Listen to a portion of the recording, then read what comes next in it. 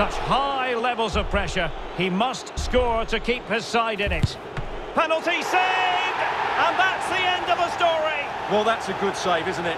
He's just won the game for his team here. Brilliant stuff from the keeper.